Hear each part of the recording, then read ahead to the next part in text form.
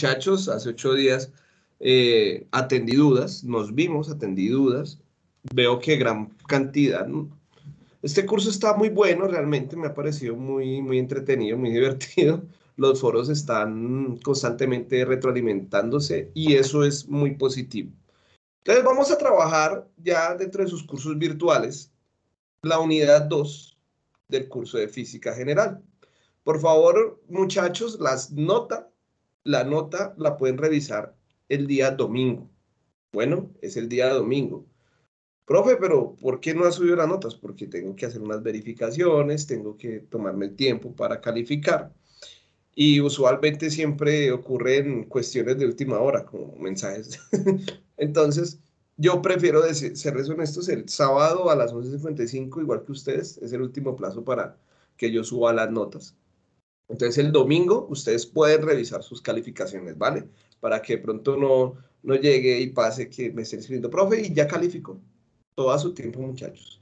Bueno, entonces, si nos dirigimos aquí al foro de discusión de la unidad 2, tarea 2, vamos a encontrar vamos a encontrar nuestra actividad, ¿listo? Esta actividad, ¿en qué, en qué consiste? En desarrollar cinco ejercicios. Esos cinco ejercicios están asociados a lo que son las leyes del movimiento de Newton, que vamos a trabajar el día de hoy. Les voy a dejar bastante material. Eh, de aquí en adelante la metodología, como les estaba diciendo al comienzo, cambia un poquito con respecto a la unidad 1. Conozco la población, conozco sus falencias, sus dificultades, sus, sus, sus fortalezas también. Entonces, entendiendo con lo que he revisado y con lo que ya he calificado, vamos a desarrollar la actividad orientándonos en, la explicación del fenómeno físico e, y nos introducimos al, desarrollo de las actividades. Bueno, tenemos un ejercicio 1 que, al igual que la parte anterior, es desarrollar un video en el que grabe el trabajo realizado en el simulador para responder las preguntas del ejercicio. También tenemos que usar un, simulador y de manera colaborativa, recuerden que lo, colaborativo es en el foro, no es que me vayan a entregar por curso un trabajo, no. Eh, es colaborativo el ejercicio 1 en donde yo le hago la retroalimentación. Por ejemplo, yo digo, yo soy Sebastián Amado Peña y Lina, y, y Lina Marcela Méndez es mi compañera. Yo hago la revisión, le digo, mira compañero, debes cambiar esto, debes cambiar aquello. Bien, eso es la revisión que nosotros tenemos que hacer. Bueno, por otra parte, tenemos el ejercicio 2 y 3 y 4 que son soluciones analíticas. Para esta etapa tenemos desde el 17 de marzo hasta el 30 de marzo. Tiempo tenemos bastante. Eh, claro, estamos corridos una semana porque precisamente se nos cruzó la entrega con el inicio de la actividad. Por eso no pudimos retroalimentar y hacer nuestra primera, eh, nuestro primer espacio de CIPAS. Sin embargo, yo quiero ofertarles a ustedes un día adicional de CIPAS este sábado que viene, o sea, este sábado en 8, si están interesados, desarrollamos otros IPAs adicional si no alcanzamos entre esta y la siguiente fecha, o alargamos los IPAs a tres horas desde la otra semana, como ustedes quieran, como ustedes lo deseen. Igual eso lo vamos mirando en el camino, ¿vale, muchachos? Entonces, vamos a desarrollar aquí las actividades, vamos a trabajar el ejercicio 1. Recuerden aquí Está mi Skype, aquí está mi Teams, aquí está mi correo electrónico, aquí está un curso GRAS que estoy desarrollando que ahorita está en, en stand-by. La página web, siempre les digo, aquí en la página web está prácticamente todo, la parte teórica, la parte práctica y demás. Listo, también aquí para los que tengan dudas sobre el curso, aquí está el, el, blog del curso, la gestión del curso, como un objeto de de aprendizaje. Vamos a mirarle el anexo 1 que nos dice. Vamos a analizar y vamos a, entender que la rúbrica o la actividad está orientada al desarrollo de ejercicios con las leyes de Newton. Entonces, iniciamos con el simulador virtual de fuerzas y movimiento que se encuentra en la página de REX. Ahorita les explico cómo, cómo poder desarrollar la actividad. Es muy, muy sencilla. Realmente es muy, muy sencilla. Eh, después vamos a tener toda una, una, unos ejercicios asociados, bueno, termina acá, hacia la leyes del movimiento y sus aplicaciones sin fricción. Bueno, entonces aquí tenemos esta persona que arrastra esa caja en un plano horizontal, tenemos que aprender primero las tres leyes de Newton para poder resolver este ejercicio. Al igual que esta, tenemos que conocer la segunda ley de Newton, identificar cuáles son las otras dos leyes y responder la segunda ley de Newton sin fricción, que es ese sistema. Y cuando terminemos las leyes de Newton, que es aspiro hoy terminar una parte, porque es bastante, termino una parte, que es explicarle qué son las tres leyes de Newton, resolvemos el simulador. Luego, en la siguiente clase les enseño lo que son los diagramas de cuerpo libre y cómo hacer ejercicios de, de, de, mecánica de Newton, bueno, de, de la dinámica de Newton, perdón. Finalizamos eso y en el tercer CIPAS vamos a hacer trabajo, potencia y energía, con el objetivo de responder el cuarto punto. ¿Qué es lo bueno? ¿Qué es lo malo? Lo bueno es que con lo que aprendamos hoy y la siguiente semana en este espacio de CIPAS lograremos eh, responder la mayoría de los ejercicios. Es decir, el ejercicio 1, 2, 3 y 5. El ejercicio 4 quedaría en stand-by, pero realmente es sencillo. Nuevamente es el uso del software Algodo. Eh, es muy interesante, pero es bueno primero que entendamos el concepto de, de, fricción y demás. Recuerden que este es un proceso de enseñanza-aprendizaje y yo seré el tutor que los guíe. Por favor, muchachos, recuerden que con respecto al componente práctico, presencial, yo no, los, no les puedo colaborar, tienen que dirigirse directamente con su profesor eh, eh, asignado a componente práctico. Si no saben, emitan un correo electrónico a la directora de curso diciéndoles cuál es mi, director, cuál es mi profesor asignado, si no se ha comunicado con ustedes. Igual, esperemos siempre las comunicaciones al menos con cinco días eh, de antelación, por ejemplo. Si yo tengo el 2 de abril un componente práctico, yo debería esperar no sé, al 30 de marzo, 29 de marzo, para, para escribir a la directora y decir, profe, no se me ha asignado eh, eh, tutor de componente práctico. Y ya tengo la fecha estipulada. En este sentido, ustedes simplemente deben, deben eh, dirigirse, no van a necesitar llevar material adicional dependiendo de ciertos centros que tengan equipos PyWi. Si son de pronto personas aquí en Bogotá, no necesitan llevar más que la bata, los instrumentos necesarios para la práctica laboratorio, ustedes ya lo saben. En Bogotá les puedo colaborar con alguna ayuda, con algún espacio. Yo, en Bogotá, obviamente no me puedo desplazar a los otros lados. Y con el componente práctico virtual también yo les puedo colaborar, pero recuerden, yo no soy su tutor de componente práctico. Entonces, fechas, cronograma, y demás debe ser con su tutor de componente práctico. Si no se ha comunicado con ustedes, esperen cinco días antes del momento en que ustedes tienen que em, realizar su práctica. Si no responde, inmediatamente envíale un correo a la directora diana.tique.una.edu.co. Se encuentra aquí en la descripción de este, de este documento el correo electrónico de la directora. Aquí es un punto, yo no sé por qué le puso una rayita, pero bueno, en fin. Y si no, lo encuentran también en el entorno del curso. Bueno, ahora sí, empecemos muchachos. Empecemos, a mí, a mí este tema me encanta. De, una vez les digo, esto me encanta. Se ve complicado, se ve duro, se ve fuerte, pero pues realmente no es. Bueno, entonces ahora sí, vamos a mirar lo que es la mecánica de Newton.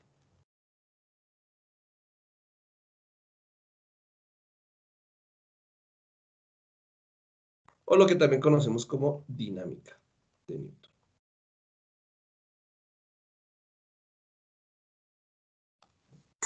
Nosotros en los ejercicios hemos evaluado objetos en los que interactúan cambios de posición y aparecen dos variables, que es la posición, X o Y, posición. Encontramos otras variables físicas como lo es la aceleración, ¿cierto? La velocidad. Y trabajamos con tiempo. Sin embargo, no consideramos dentro del sistema internacional, ustedes recuerden que tenemos lo que es la unidad de longitud,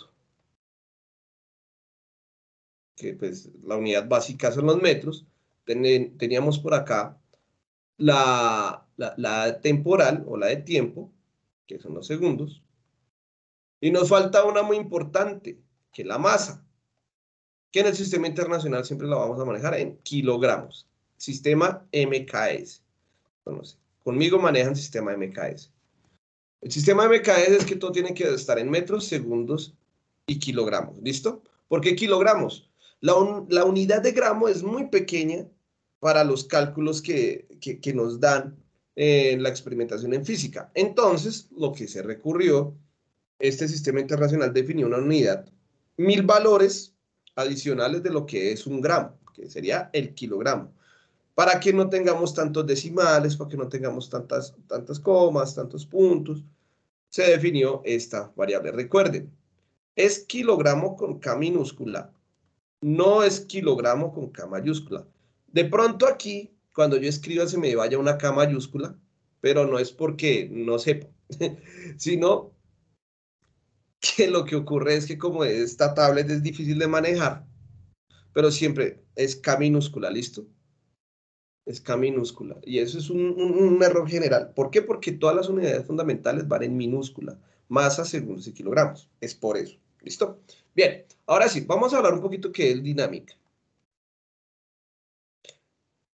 Imagínense que eh, vamos a hablar de algo muy, muy, muy sencillo. Imagínense que tienen un vehículo,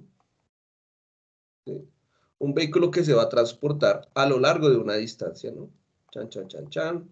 Ahí van ustedes en el cacharrito. Y va a subir y bajar, y subir y bajar una montaña. Este vehículo, como ustedes saben, necesita un motor para desplazarse y ese motor le da un impulso. Entonces, mire, aquí ya estamos hablando de tres temas. Motor, ese motor me genera un impulso. Y ese impulso es efectuado por una fuerza. Empezamos a hablar de un concepto de fuerza. Si yo les dijera, bueno muchachos, si yo tengo este carrito, ¿cierto? Yo tengo este carrito acá, lo voy a volver a pintar acá. Yo tengo este carrito acá. Y tengo acá un Transmilenio. ¿Sí? Tengo aquí un Transmilenio o un carrito. ¿Cuál necesitaría un motor de mayor fuerza? ¿Este carrito o el Transmilenio? ¿Quién necesita un motor más fuerte? El Transmilenio. Transmilenio. ¿Por qué? Por el peso. Por el peso. Nos vamos a acercar. Eso, muy bien. Claro, el Transmilenio necesita un motor más grande, un motor más fuerte. Mientras el carrito necesita menor fuerza para moverse. Digamos que queremos mover los dos vehículos a 80 metros por segundo, ¿sí? A una velocidad de 80 metros por segundo. Claro, el carrito necesita menos fuerza y el Transmilenio necesita mayor fuerza, pero eso no es debido al peso y ahorita les voy a decir. Si es una variable dentro del peso y es algo que a nosotros nos enseñaron de manera general y coloquial, y hasta los médicos cometen ese error, que ahorita les digo. Pero no se preocupen, eso ya está prácticamente reglamentado. Es entender el principio físico para comprender el contexto de la palabra peso, porque aquí peso es diferente. Bien, entonces aquí la fuerza es menor porque este vehículo tiene menor masa, mientras que el Transmilenio tiene mayor masa. Es más fácil mover un objeto con poca masa que mover un objeto con mucha masa. Y entonces existe una relación de proporcionalidad y es que a medida que la fuerza crece, ¿sí? O bueno, la, la fuerza es directamente proporcional, llamémoslo así, al valor de la masa. ¿Listo? Ahorita hablamos de otro temita aquí, importante. Hablemos de eso, lo del peso. Miren que a nosotros nos enseñaron eso, esa palabra, el peso. Si a nosotros nos dicen, no, es que eso pesa mucho y es difícil de mover. Realmente el peso no es, no es una condición de masa que establezca la cantidad de materia de un cuerpo como lo está eh, ejemplificándose acá, un objeto de gran masa y de menos masa. Eh, sí, por, como dice Juliana, Sí, el peso es una moneda también. El peso es una moneda. Entonces, tenemos que entender el contexto, porque los médicos utilizan el, peso. entendámoslo desde la física. Entonces, el peso, claro, nosotros nos dijeron, no, es que estoy muy pesado, estoy poco pesado, pero realmente el peso no es no está indicando la cantidad de materia, o sea, la cantidad de partículas por mol que ustedes tienen en su cuerpo. Realmente lo que me está indicando el peso en física es que yo estoy aquí, y aquí seguiré, nunca cambiaré, listo, aquí estoy en mi planeta Tierra, esa es la Tierra, listo, está la Tierra. Y este seré yo. Y aquí tenemos, no sé, aquí está la Luna, Aquí está la luna. La luna tiene como un conejito, ¿no? ¿Si, han visto el conejo de la luna? Es como una cosa así. Cuando esté luna llena, mírenlo y verán. Pues, el conejo se ve bien. Yo lo hago horrible. A mí me dicen, hombre, mi peso, que lo voy a representar con la letra W, mi peso es mayor en la Tierra que en la Luna. Pero eso ¿por qué ocurre? Viene aquí el chico Newton y dice, hermano, es que no me gustó que ustedes confundieran la palabra peso a lo que yo me refería. El peso es una fuerza, es una fuerza. ¿Listo? Voy a pintarla aquí de manera vectorial porque el peso es una fuerza y tiene magnitud vectorial. Y esa fuerza del peso está definida por la cantidad de materia, de masa que tiene el cuerpo, multiplicado por la aceleración gravitacional. ¿Listo? Esa es la noción de peso. Nosotros somos más ligeros en la Luna porque la gravedad es menor que la gravedad de la Tierra. ¿Listo? Y ahí es donde viene la noción de peso. Nosotros no calculamos el peso en una báscula, nosotros calculamos la masa. Ustedes, ahí sí como dijo la compañera, una cosa muy diferente es el IMC en comparación con el IPC, ¿cierto? Porque IPC, IMC, usted lo han hablado, los médicos lo utilizan mucho, índice de masa corporal, no índice de peso corporal. Porque hasta el IPC es utilizado, es, es hasta en económicos. Pero no, o sea, realmente es el índice de masa corporal. Sin embargo, se volvió muy, muy recurrente y se, y se aceptó ya la palabra peso para referirse a la masa de una persona, aunque no es correcto desde la física. ¿Sí? Por ejemplo, si mi masa, que fui a la báscula de la droguería que dice controle su peso, ¿sí ven la diferencia? Que realmente me está dando mi valor en kilogramos, yo por lo menos tengo 70 kilogramos. Me decía que yo dibujo a veces la cara mayúscula, pero no es mayúscula, es minúscula.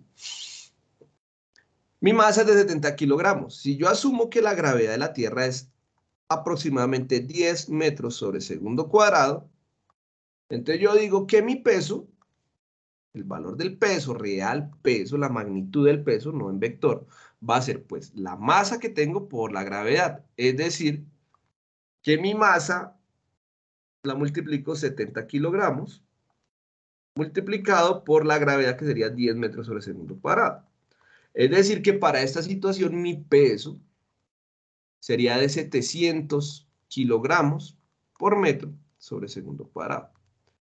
Listo, a esta unidad que aparece acá, que está en sistema MKS, si ven que aquí en el sistema internacional inicia acá, diciendo MKS, tengo la longitud en metros, la masa en kilogramos y el tiempo en segundos, esto de acá se conoce como los newtons. Por eso ustedes han escuchado la palabra newton en física, en sus cursos de física anteriores, y a eso refiere. Que un newton es igual a un kilogramo por metro sobre segundo cuadrado. Bien. Ahora, en el caso del peso, mi peso sería de 700 newton. Si ustedes a mí llegan y me dicen, yo les pregunto, si ustedes le dicen a alguna persona, no, es que mi peso es de 70, bueno, ¿70 qué? Primero, si dice 70 kilogramos, está mal. Si dice que su peso es de 70 newton, realmente su masa sería de 0.7 kilogramos es decir, 700 gramos, un poquito más de una libra de arroz. Entonces, pilas con esas nociones, muchachos. Es bueno, es interesante y, muy correcto cultivar nuestro lenguaje. en ciencias naturales para no cometer errores conceptuales. Bien, ok, entonces ya les definí esto, lo de peso, ya sabemos que es la unidad de, de medida. Y miren que las fuerzas, la gravedad siempre nos ataca hacia el centro, hacia el centro de la Tierra. Es decir, que este carrito va a existir una fuerza que va a ir hacia abajo, que la va a conocer como peso. Que el peso no es más lo que se opone a nuestro movimiento. Miren que cuando nosotros, no es lo mismo andar con unas ruedas que andar en una patineta, ¿cierto? No es lo mismo. O bueno, pongámoslo un poquito más, más complicado. No es lo mismo andar en un vehículo con ruedas que quitarle y, las llantas con el piso. Es que quitarle, por ejemplo, o, bueno, más fácil, perdóname. no es lo mismo viajar en este vehículo con las llantas pinchadas, que están prácticamente, el suelo está tocando con el metal de, de los rines del carro, ¿cierto? En comparación con la llanta que está elaborada de caucho y toca el concreto. Eso me genera una fricción. Aquí el primer concepto que tienen que aprenderse y que vamos a manejar. La fricción es diferente. La fricción entre metal y la tierra es diferente que la fricción entre madera y la tierra, diferente entre la, fricción de, de hierro con hielo, etcétera, etcétera, etcétera. Y mire que la fricción se opone a mi movimiento, ¿no? Si yo me voy moviendo hacia adelante por la fuerza que genera el motor, ¿sí? O esa potencia que muchos llaman, pues va a haber una fuerza contraria a mi movimiento que la voy a llamar fuerza de fricción o fuerza de rozamiento, también se puede llamar.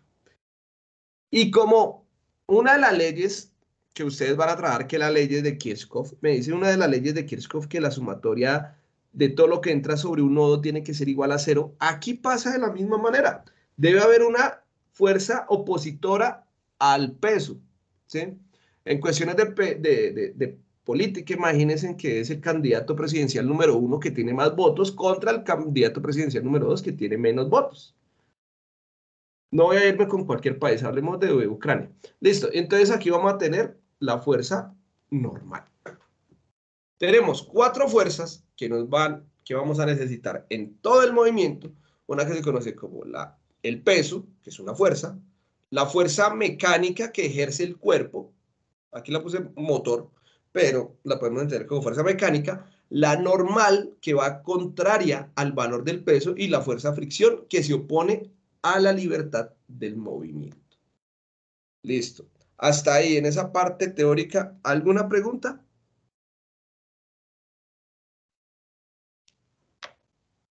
Ninguna, muchachos. Bueno, voy a mirar el chat porque a veces yo me, yo, yo me pierdo. Mira, por ejemplo, Julián, excelente, es masa, ¿sí? Muy bien. Ahora, continuemos. Continuemos acá. Vamos ahora a definir. Bueno, Leandro dice, en un espacio vacío la fricción aplica. Ve, interesante pregunta. Bueno, cuando hay vacío, cuando hay vacío, existe gravedad. No, profe, no. Cuando hay vacío no tenemos gravedad. Bien, hay dos tipos de vacíos. No, no necesariamente. A veces sí hay gravedad en un espacio vacío. Exacto, eso es lo que yo iba a decir. Hay dos tipos de vacío. Entonces, mejoremos la pregunta porque en un espacio, ejemplo, nuestro espacio extraterrestre, ¿sí? no estoy hablando de dónde, sino fuera de la capa terrestre, es un estilo donde la gravedad existe, pero es ínfimo. Es muy pequeño. ¿Listo? Porque hay atracción gravitacional, que eso depende de la tercera ley de Newton. Y sí, hay rozamiento y hay fricción. Ahora, en un espacio vacío de aire, como los que hacemos las simulaciones, sí, también existe fricción. La única fricción que deja de existir en un espacio vacío de aire es la fricción del aire, precisamente. Y por eso yo lanzando una pluma o una esfera o un bolígrafo van a caer al mismo tiempo sin importar la altura y sin importar la geometría del objeto. ¿Por qué? Ejemplo, para responderle a Leandro, si yo me subo a mi terraza de un cuarto piso, no me voy a tirar yo, voy a lanzar una, una pluma. Lanzo la pluma, ustedes ven cómo hace un movimiento estilo oscilatorio hasta caer al suelo. Eso es el movimiento de la pluma. Pero si ustedes llegan y lanzan una bola de boliche, ustedes ven y cae derechito, ¿cierto? Y obviamente van a caer en diferentes tiempos al suelo. Ahora bien,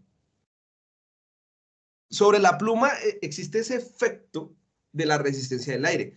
Con respecto a la, a la, bola de boliche, también, sin embargo, a esas alturas es despreciable el valor de, la resistencia del aire porque es muy pequeña, muy corta en comparación con eh, la masa del objeto. Ahora, en el caso de la pluma, tiene una masa muy pequeña, muy ínfima, donde la y la geometría también ayuda a la pluma para que cree ese movimiento armónico, ese movimiento de, de, vaivén de un lugar a otro. Entonces, por ello, por ello es que yo digo, por, ello es que yo digo que toca considerar muy bien que es un vacío. ¿Quién fue el que... Eh, ah, bueno, ahora, en el vacío, la situación del vacío, elimino el aire. Si elimino el aire, se elimina la fricción del aire. ¿Listo? Se elimina la fricción del aire. Los coeficientes de fricción en el vacío, sin aire, pueden existir. Sin embargo, van a haber procesos que tenemos que considerar porque nuestra vida humana tenemos procesos de combustión, de variación de temperatura, etc. Y el aire termina siendo un efecto eh, que puede modificar los coeficientes de fricción. Por ejemplo, si yo en el vacío de aire eh, muevo un objeto de madera y lo rastrillo con un objeto de concreto, la fricción va a ser diferente. La fricción va a ser diferente que si tuviera un espacio normal con aire, pero sí, sí existe fricción. ¿Listo? Bien, y no me voy al espacio exterior porque terminamos hablando de la teoría de relatividad general y después ahí sí nadie me calla, muchachos. ¿Listo? Bien, gracias. Pónganse una pregunta ustedes. Señor, cuéntame. Digamos en este caso, o sea, de la fricción de, o sea, depende de la velocidad o es o eso ya es, digamos, son, una parte. Bien, voltea la pregunta. La velocidad depende de la fricción. ¿Listo? ¿Por qué? Porque no es lo mismo que tú viajes eh, no sé, te quieras tirar, imagínate que te fuiste a Canadá, todos vamos a ir a Canadá, todos van a ir a conocer a Canadá, yo quiero irme a Canadá. Y quiero pasar una Navidad canadiense, ¿no? Lo que nosotros los latinos no podemos eh, explorar. Si nosotros vamos a una Navidad canadiense y nos lanzamos desde una altura estilo Monserrate en un esquí, ¿sí? Y nos lanzamos aquí en Monserrate. Obviamente, la nieve con respecto al pasto o las escaleras de Monserrate, como quiera, como, ya depende de la adrenalina de ustedes, va a hacer cambiar el módulo de la velocidad con respecto al tiempo, es decir, la aceleración.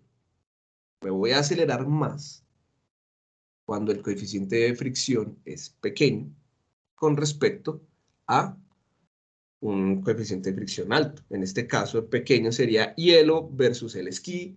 Y, en caso contrario sería el, el, concreto o, el, o el suelo franco, que es la tierra, como ustedes lo conocen, el suelo franco versus eh, el esquí, que el esquí puede ser de madera. Entonces, cambian los coeficientes. Muy buena pregunta. Y precisamente de esa pregunta, de esa interpretación de cantidad de movimiento es que se desglosa la segunda ley de Newton que vamos a aplicar.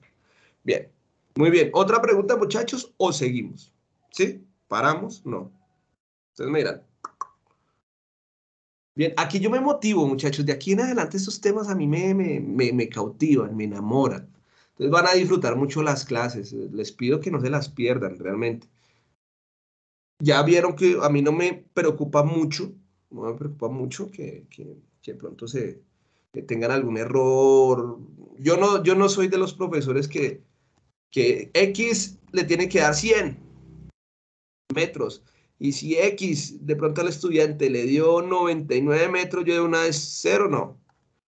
Yo les pongo completo, ¿listo? Desde que tengan bien el procedimiento. A mí me interesa bien el procedimiento y la interpretación de la física, porque el resto ya son números. Estamos en, en una era digital donde lo más importante, lo vital es que ustedes entiendan los fenómenos físicos, los fenómenos naturales, que ustedes se enamoren de la ciencia y se cautiven y se den cuenta que la física realmente no es eso lo que nos vendieron en algún momento, que solo es matemáticas. No, realmente la física va más allá. Si ustedes se ponen a mirar la historia de Albert Einstein para determinar sus ecuaciones de, de campo, de, de espacio-tiempo, tuvo que recurrir a una matemática muy avanzada, sí lo sé, tuvo que, que, ir al cálculo tensorial y algunos elementos de topología diferencial, pero lo lindo de, de Albert Einstein es que toda esa teoría nació en un ascensor. Imagínense en eso. Entonces es supremamente motivante, excitante, todo lo que es la ciencia natural y en especial entenderlo más allá, desde los conceptos, desde el, lo profundo. Eso no quiere decir que no vamos a ver matemáticas. Entonces, bueno, vamos a hablar de ese concepto de fuerza. ¿Qué es la fuerza?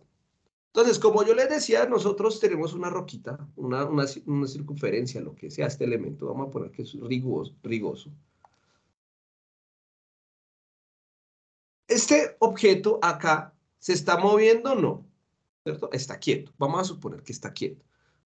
Voy a utilizar una palabra que se llama cantidad de movimiento ahorita. ¿Listo? Entonces, voy a poner aquí P, que voy a definir acá como cantidad de movimiento.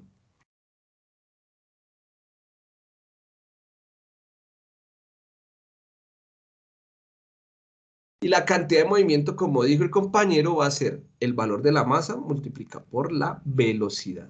Entonces, como es velocidad y la velocidad es un vector, entonces la cantidad de movimiento es un vector. Recuerden, vector es todo aquello que se desplace de un punto a otro. Entonces vamos a mirar. Entonces aquí tenemos una cantidad de movimiento igual a cero. Y ahorita les digo las unidades. Aunque ya las podemos deducir, ¿no? Velocidad metros sobre segundo y masa es kilogramo. Entonces momentum es en unidades de kilogramo por metro sobre segundo.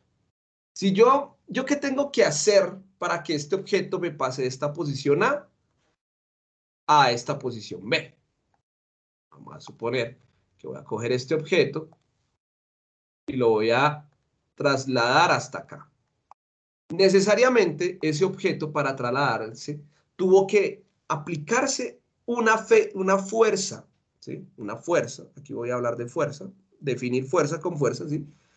No es coherente, pero yo sé que de la interpretación vaga que ustedes tienen de su experiencia natal, saben que una fuerza tiene que ver con algún empuje, con alguna acción, ¿sí? Y entonces ustedes tuvieron que aplicar algún movimiento, alar de pronto, trasladar. Cuando ustedes aplican una fuerza, la cantidad de movimiento cambia. Es decir, en este punto va a tener una cantidad de movimiento diferente. La masa es constante, la masa se conserva, en este caso, en este ejemplo. Como la masa se conserva, lo único que puede cambiar es la velocidad. Es decir, que a medida de que yo aplico una fuerza, la masa se conserva, pero la velocidad es diferente. Entonces, por eso es que se ubican en, eh, en, esos dos eventos. Eh, bueno, entendamos desde, desde sus cursos, ¿sí? desde sus cursos de cálculo diferencial, que ustedes vieron la derivada, ¿no? La fuerza, perdón, la cantidad de movimiento, recordemos, la cantidad de movimiento, ya que lo acabo de definir, es masa por velocidad, pero recordemos que por ahí en las clases anteriores yo les dije que velocidad era igual a distancia sobre tiempo, ¿no? Distancia sobre tiempo, ¿cierto? Ahora, otra forma de describirlo, que fue la que utilizó Newton, es que la velocidad es igual a la derivada de la posición con respecto al tiempo. Y esto yo lo voy a poner acá. Voy a reemplazar este valor aquí dentro de mi ecuación. Voy a decir que la cantidad de movimiento es igual a la masa por la variación de la posición con respecto al tiempo. ¿Y por qué? Porque para pasar desde esta posición X0 a esta posición X1 tuvo que variar su posición. Y al variar su posición, eso le tuvo que consumir un tiempo. Por eso es que la velocidad es una razón de cambio. Esto es una variación del movimiento. Esto es una derivada, muchachos. No es más una derivada que esto. ¿Listo? Yo sé que en matemáticas a veces a uno le dicen que la recta tangente y ese tipo de cosas que confunden. Aquí en física vamos a comprender, aunque es la misma definición, pero con otras palabras, que las derivadas me responden a una variación de cambio. ¿Listo? En este cambio, la variación de la posición con respecto al tiempo, porque si cambia la posición, fue porque el tiempo cambió de alguna manera. Tenemos nuestra ecuación de momento. Ahora, noten una cosa muy interesante que les acabo de decir, muchachos. Y es que yo les dije que aquí, miren, la fuerza pasó, al aplicar esta fuerza, ¿no? Es decir, esa fuerza, sobre este, sobre este elemento, miren que cambió su momento inicial a un momento final, podemos decirlo así. Es decir, que varió su movimiento. Es de, yo podría definir el concepto de fuerza como la variación de la cantidad de movimiento con respecto al tiempo. Bueno, por allá alguien está que escribe, voy, voy, miro. Ah, pero como que al Skype. Pero al Skype sí no atiendo mientras que estoy en CIPAS.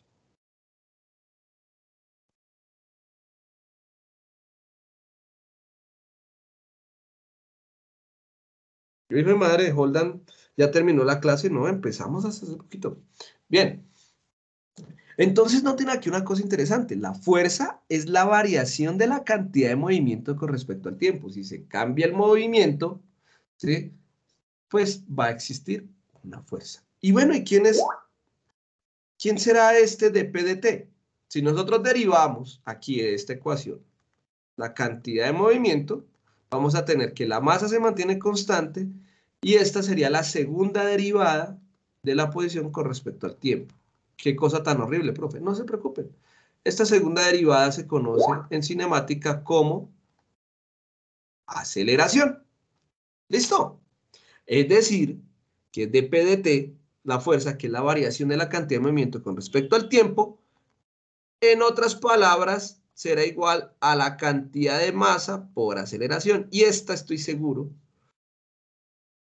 esta ecuación la han escuchado, que la fuerza es igual a la cantidad de materia por aceleración o a la masa por aceleración.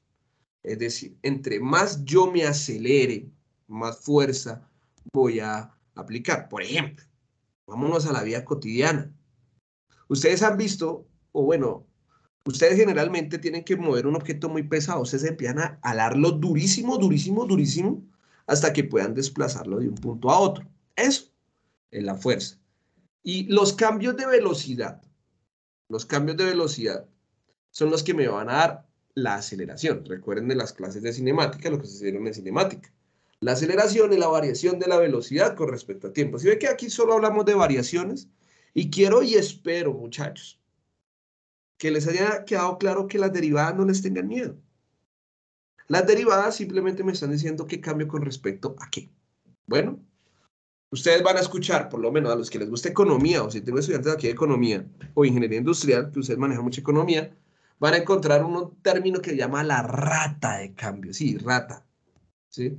La rata de cambio económica es cuando cambia una variable económica con respecto a una evolución temporal. Por ejemplo, la rata de cambio del peso con respecto al dólar, cosas de ese estilo. No soy economista, pero entiendo muy bien la ingeniería económica y por ello es que les digo que las derivadas, miren, ustedes todo lo hace un software, lo sé, pero si ustedes no entienden el concepto de derivada, ustedes cómo van a generar y van a crear un modelo matemático o un modelo empresarial si no saben generar el diseño teórico. Recuerden, no nos quedemos solo con nuestro cartón para que nos suba el, el, salario, sino aprendamos. Yo sé que todos los que están acá están motivados por su aprendizaje y por eso yo hago mi mejor esfuerzo para que mis clases no sean aburridas, muchachos. Listo, bien. ¿Claro hasta aquí? ¿Puedo continuar? ¿Alguna preguntita?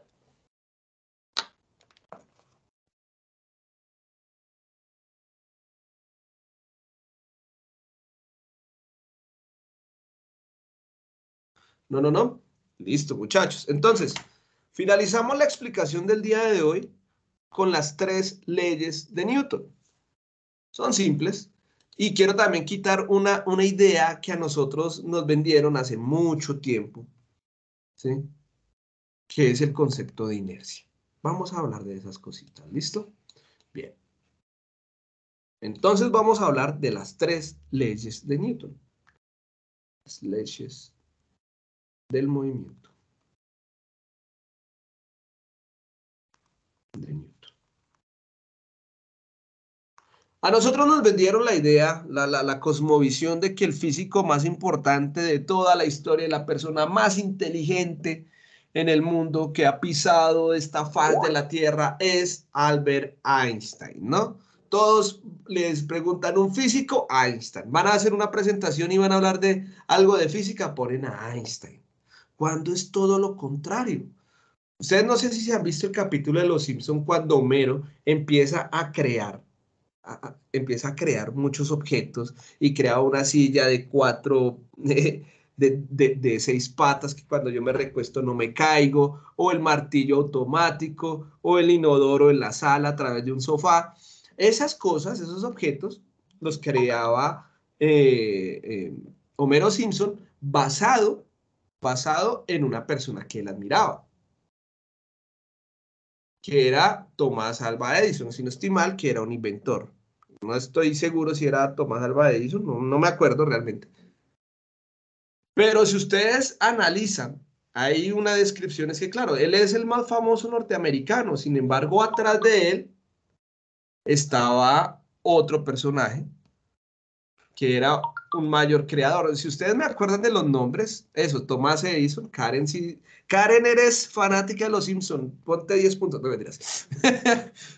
sí, entonces, profe, era, era, Tomás Alba Edison y detrás de Edison creo que estaba Leonardo López. Eso, eh, Da Vinci. Da, da Vinci. Sí, señor, correcto. Entonces atrás estaba Da Vinci, imagínense. Y pasa lo mismo con nosotros. Entonces, aquí perfectamente, aquí Aquí está Karen. No sé si usas bonitas. Entonces aquí está Karen. Atrás de Karen, ella de pronto sigue los pasos de, bueno, de Einstein. Pero imagínense, Einstein siguió los pasos de nada más y nada menos que del físico, el mejor físico de la historia, el papá de la física, mejor dicho, para mí este es mi ídolo. Yo sigo los pasos de Sir Isaac Newton. Él es el, él es el mejor físico que ha pisado esta faz de la Tierra, que ha dado, que ha nacido, porque gracias a él tenemos nosotros estas profesiones llamadas ingenierías. No es gracias a nadie más, porque él extendió el concepto de la filosofía natural, de la physics, ¿sí? Lo extendió todos a partir de su libro de, de, la filosofía natural, se lo recomiendo, hay versiones en español, en francés y en inglés, a partir de las principia, las principia de Newton. Principia de Newton, se conocen así. Es el, para mí, para mí, en mi concepto personal, el libro más importante que, de, ciencias que existe en la faz de la Tierra. Está online. ¿Por qué? Porque Newton se encarga de responder tres enigmas grandísimos sobre el movimiento. Empiezan a idearse otras estructuras, otras ideas, la base sostenible de lo que es el electromagnetismo, marca la evolución entre, entre la era de, de estos mecanismos como los relojes, esto tiene una, un, nombre, ¿sí? estos de engranajes y demás, a evolucionar a la siguiente era que es nuestra era industrial y, empiezan a nacer toda esta revolución de las máquinas, eh, no a lo Terminator, vamos a llegar a lo Terminator y cuando lleguemos eso es gracias a Newton, ¿listo? eso sí, ténganlo por seguro, porque dio las bases sostenibles del conocimiento en ciencias naturales. El tipo, para describir las tres leyes del movimiento, tuvo que recurrir a elementos que no existían. Newton es el papá del olor de cabeza de todos nosotros en física y matemáticas. Newton tuvo que elaborar el cálculo diferencial. Cuando le digan quién es el mayor exponente en cálculo diferencial, Sir Isaac Newton. ¿Quién es el máximo exponente de la física? Sir Isaac Newton. No es Einstein, no es Gauss, no es ninguno de ellos. Es Newton. Imagínense en la importancia. Él tuvo que, para demostrar los conceptos y sus desarrollos, tuvo que inventarse el cálculo diferencial. Imagínense en eso, imagínense. O sea, es como, es como demostrar el amor. El, tipo dijo, voy a inventarme una ecuación para demostrar el amor. Ahora, muchachos, si les gustan los tatuajes, no se tatúan la ecuación de Irak, esa ecuación del amor, está mal. Después les explico con, en, en otros IPAs. Bien, entonces existen tres leyes fundamentales del movimiento de Newton. Que la primera ley, también, vamos a verlas rápidamente. Primera ley de Newton. Esa primera ley nosotros la interpretamos mal, a nosotros también nos la enseñaron mal, y por eso es que usualmente recurrimos a ejemplos de nuestra vida cotidiana que no tienen que ver con ese concepto. La primera ley de Newton parte del concepto de inercia.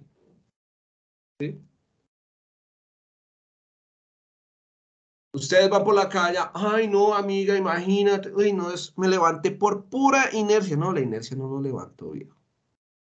No, realmente yo estoy en este CIPAS de física por pura inercia. No, no es la inercia. Realmente es la acción que hay antes de la inercia. Tengan en cuenta que yo voy a manejar muchas veces la palabra acción. ¿Listo? Porque esto es como una película así al, mejor estilo de, las películas de Hollywood. Por ejemplo, Zulander, acción. Así, aquí todo vamos a manejar acción, ¿listo? Entonces, la ley de la inercia, ¿qué nos dice? A nosotros nos enseñaron, no, yo estoy aquí en la cama durmiendo y, ay, me voy a estudiar, me voy a ir a conectar. Y no sé cómo me conecté. Fue por pura inercia. No, realmente no. Vamos a imaginar este mismo ejemplo. Vamos a entender la inercia desde otro punto de vista. ¿Listo? Esto no es inercia. Imagínense que ustedes van caminando y yo sé que a todos les ha pasado. Ustedes van caminando, o bueno, van corriendo. imaginen que este es Naruto. Listo. Entonces Naruto va corriendo. Permítame un segundo. Hola en Zipas. Y ahorita te marco, ¿vale? Listo, dale, chao. Listo. Entonces miren a Naruto. Naruto, imaginen que se va corriendo, va corriendo, va corriendo, va corriendo y pum, de un momento a otro. A uno le pasa, ¿no? A mí me pasa todo. Aquí en, aquí en Bogotá manejamos el término se me rompió el tacón. Entonces aquí Noten que decir que se me rompió el tacón aplica para hombres y mujeres, porque los hombres usan zapatos de tacón y los tenis tienen tacón, todo tiene tacón. Listo, bien. Entonces imaginen que Naruto va corriendo, va corriendo, va corriendo y él se está moviendo con movimiento rectilíneo uniforme. Listo, con movimiento rectilíneo uniforme. Va desplazándose con la misma velocidad.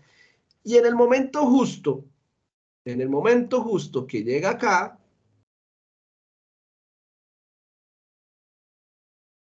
lo que va a pasar con Naruto es que se tropieza imaginariamente con la roca invisible y termina no en otro lugar más que en el piso, ¿cierto?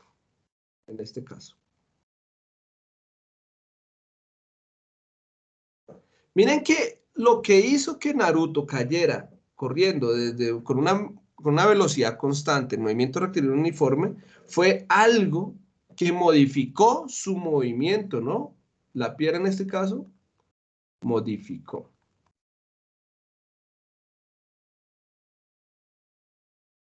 Nunca les ha ocurrido que ustedes van en un carro, listo, van en su carro, listo, tan, tan, tan, eh, van con su pareja, con su novio, con su novia, van felices y de repente ven al frente un pobre perrito y tuvieron que frenar en seco ¿sí? O sea, ustedes van aquí en su, ¿sí? Ah, van aquí en su jipeta, listo.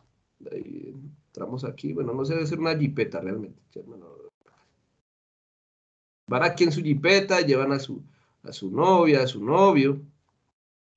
Realmente estamos en una era donde las mujeres hasta tienen más plata que uno, entonces deberían cambiar las consideraciones, ¿no? Deberían invitar un poquito de mentiras. Divinas, las mujeres es lo más hermoso que...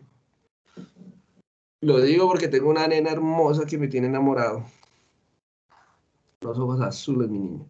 Bien, entonces imagínense acá, van ustedes en su jipeta tranquilos, ¿listo? Entonces van en un movimiento constante, ¿sí? Y exactamente pasa un perrito acá.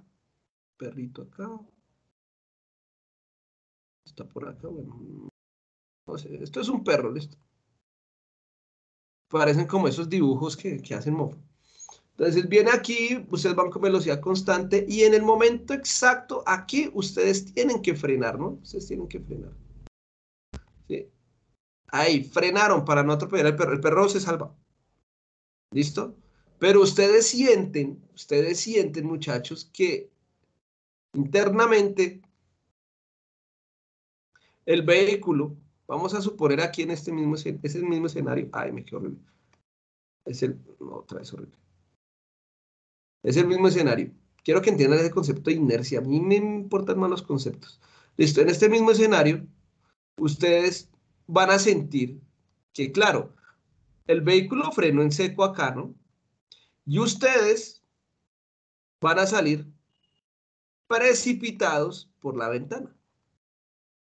Van a salir precipitados. Ah.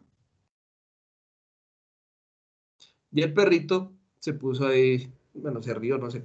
Entonces, ahí en ese instante, cuando frena el vehículo, miren que el vehículo lleva el movimiento, pero ustedes llevan el movimiento del vehículo y todo cuerpo desea permanecer en su estado de reposo, en este caso su estado de reposo o movimiento rectilíneo uniforme,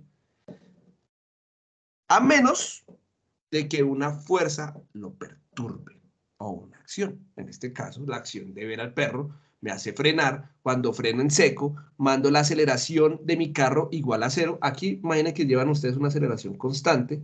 En el momento que yo veo al perro y tengo que frenar, mi aceleración pasa a ser igual a 0 metros sobre segundo cuadrado, pero ustedes como personas, como individuos y como parte del sistema carro, ustedes llevaban, aunque no sientan el movimiento, la misma aceleración constante del movimiento y ustedes salen precipitados con la aceleración que llevaban el vehículo por la ventana. Por eso es tan importante el uso del cinturón de seguridad. El uso del cinturón de seguridad evita los efectos de la inercia ante un accidente. Miren qué lindo, qué hermoso es hablar así, ¿no? Y que ustedes ya, le van a, ya, no van a utilizar los mismos términos cuando se expresen con las otras personas. Eso es muy bonito. Ya van a decir, no, cada vez que vayan en un carro y frenen, se van a acordar de mí. Cuando frenen en seco y van a decir, uy, me acordé del profe de física que eso es por culpa de la inercia. Siempre va a pasar así y siempre quiero que sea así, que me recuerden por algo. Entonces, la, eh, la primera dice, todo cuerpo desea, que la palabra desea no, no me gusta tanto para escribir esto, pero bueno, todo cuerpo desea permanecer en su estado de reposo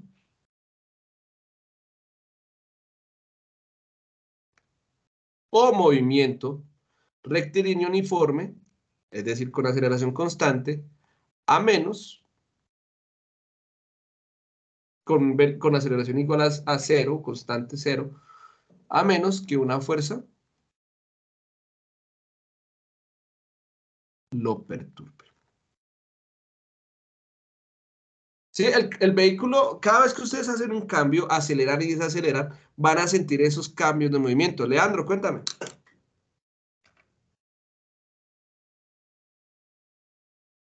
Profe, yo he escuchado mucho una una ley de la física o una fuerza de la física que se llama momentum.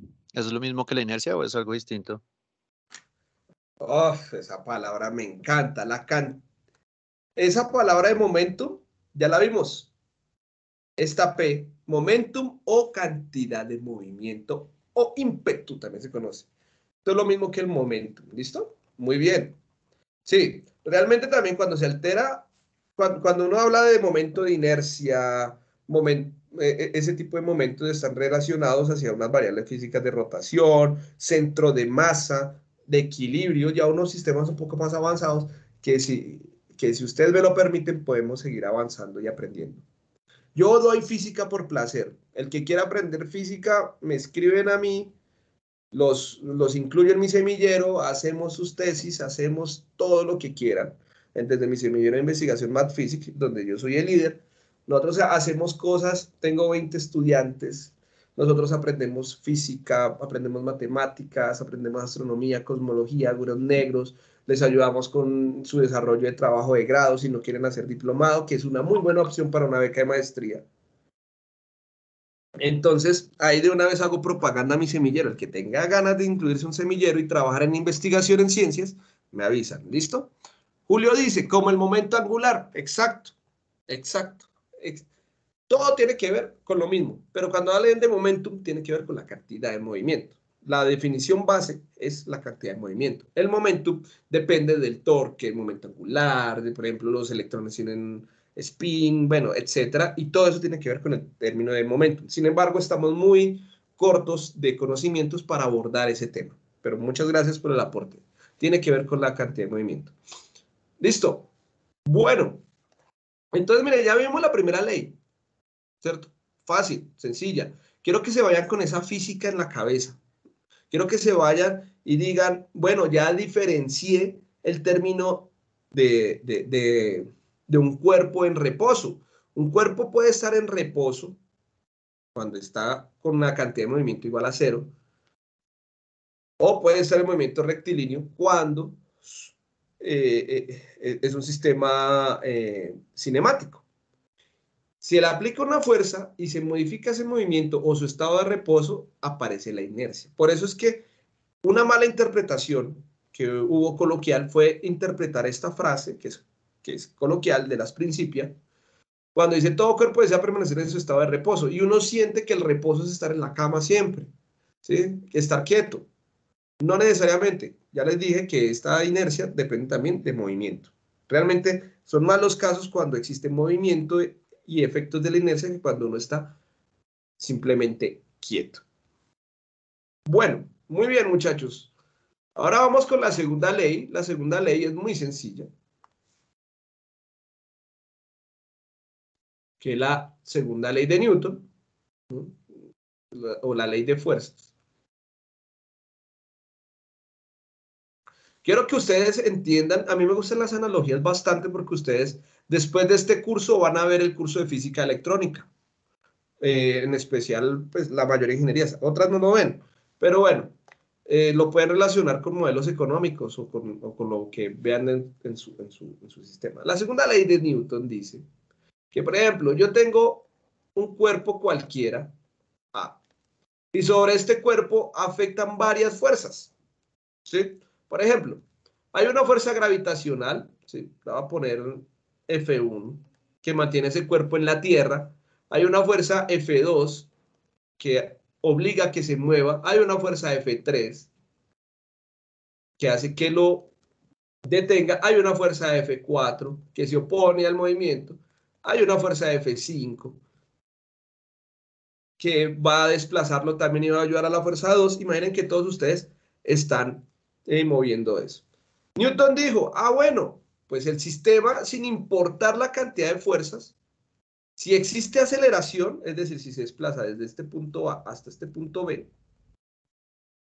esta partícula, que tiene una masa m, si yo desplazo de esta esta masa A hasta este punto B, estos son puntos, no, es que se llama masa A y masa B, son la misma. Esta masa A, esta masa la pasó del punto A al punto B, tuvo que tener un momento de aceleración debido a esas fuerzas. Entonces, Newton dice, bueno, pues lo primero que tengo que hacer es sumar todas las fuerzas, F1 más F2 más F3 más, más Fn, si yo sumo todas las fuerzas, me tiene que dar igual al producto entre la masa y la aceleración. ¿Listo? ese va a ser mi producto. Si yo conozco todas las fuerzas y conozco el valor de la masa, puedo encontrar la aceleración, que generalmente esos son los ejercicios de Newton. Pero pues así queda muy complicado generalizar la, la cuestión. Entonces, recuerden este símbolo sigma. La sumatoria desde igual a 1 hasta la n fuerzas que haya, F sub i, va a ser igual a la cantidad de masa por aceleración. En otras palabras, la sumatoria de fuerzas es igual a masa por aceleración. Eso es lo que me está diciendo la segunda ley de Newton. Si el objeto permanece quieto,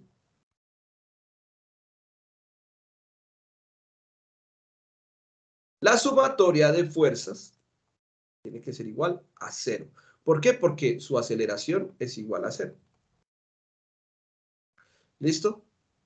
Y esta ecuación estoy seguro de los que ya han visto circuitos eléctricos. Es analogía, ¿listo? Ustedes tienen un sistema de resistencias, de condensadores, como quieran. Pero ustedes tienen aquí dentro de este sistema, vamos a poner este R1, R2, R3, R4, bueno, Aquí ustedes van a tener algo que se conoce como nodo. En física, nuestro nodo es el centro de masa, donde elegimos el centro de la masa. Es igual. Sobre este nodo van a pasar muchas corrientes. Va a pasar aquí una corriente I1, una corriente I2, una corriente I3, no sé, y puede salir una corriente I4. Entonces tenemos sobre el nodo dos corrientes que, tres corrientes que ingresan y una corriente que sale. Y aparece aquí la ley de corrientes de Kirchhoff, que nos dice que la sumatoria de las corrientes tiene que ser igual a cero. Todo lo que entra tiene que salir. ¿Listo? En el nodo. Muy bien. De allí nace la ley de Kirchhoff, del estudio de las fuerzas. ¿Vale? Esa es una analogía.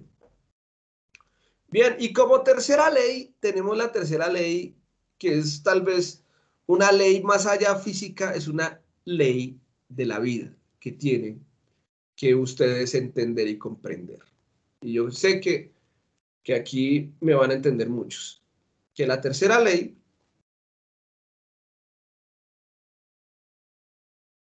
La tercera ley de Newton me dice que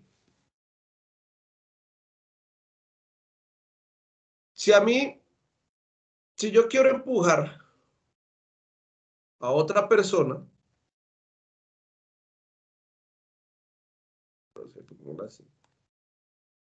entonces estamos la persona A, la persona B, en este nodo, en este punto, la persona A le está aplicando una fuerza en esta dirección. Y en esa contienda, sin importar quién sea el más fuerte o el más débil,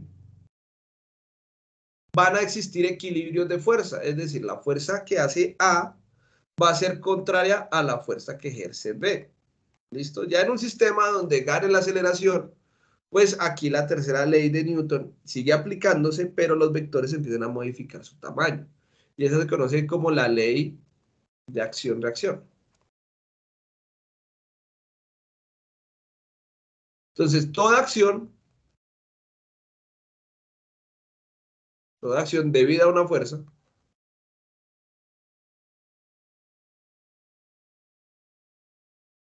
genera una reacción.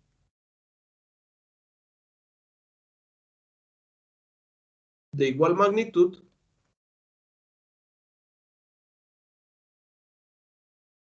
pero en sentido contrario.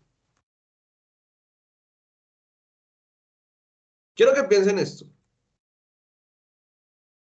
Que fuerza de A va a ser igual a menos la fuerza de B el mismo tamaño, la misma magnitud, es decir, misma magnitud, el vector tiene el mismo tamaño, ¿sí? Pero su ángulo, si este es ángulo 0 grados, la dirección diferente al ángulo 0 grados, en este caso, sería 180 grados. ¿Listo?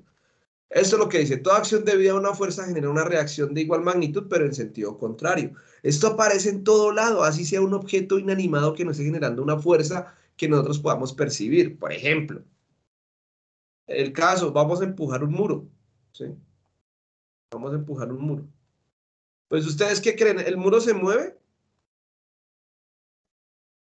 ¿Ustedes lo empujan?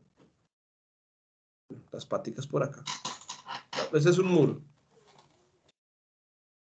Ustedes están aplicando una fuerza de acción en esta dirección, ¿no? Pero ustedes ven que el muro no se desplaza ni nada. El muro en realidad, muchachos, le está generando a usted una reacción en sentido contrario. Es decir, existe una fuerza de muro. Invisible no lo es. Si fuera invisible, realmente ustedes no podrían, eh, ustedes podrían mover cualquier objeto. Serían Goku. Básicamente, sin Hekiyama, sin nada, solo un dedito y rompe todo. Eso sería, eso serían las tres leyes de Newton. ¿Alguna pregunta, muchachos?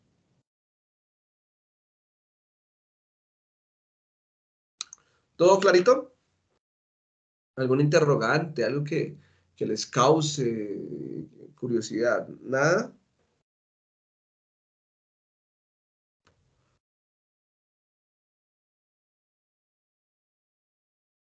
Bueno, muchachos. Entonces. Una pregunta. Dime. La cinemática tiene que ver con la segunda ley de Newton, ¿cierto? La dinámica. Mira que en la cinemática nosotros podemos desprender la cinemática y la dinámica de una manera muy sencilla. En la cinemática solo evaluamos el movimiento con respecto al tiempo. No tuvimos en cuenta en ningún momento la masa.